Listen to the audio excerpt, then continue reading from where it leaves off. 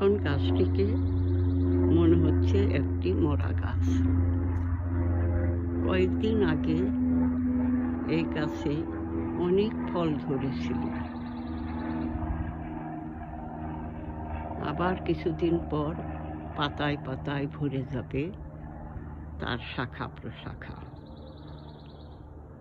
ফল হবে সৌন্দর্য বিন্যাসে তার কোনো ত্রুটি থাকবে না।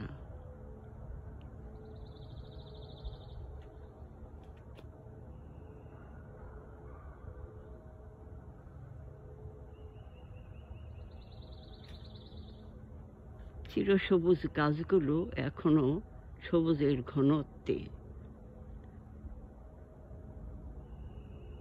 তার সৌন্দর্য বিন্যাস করছে।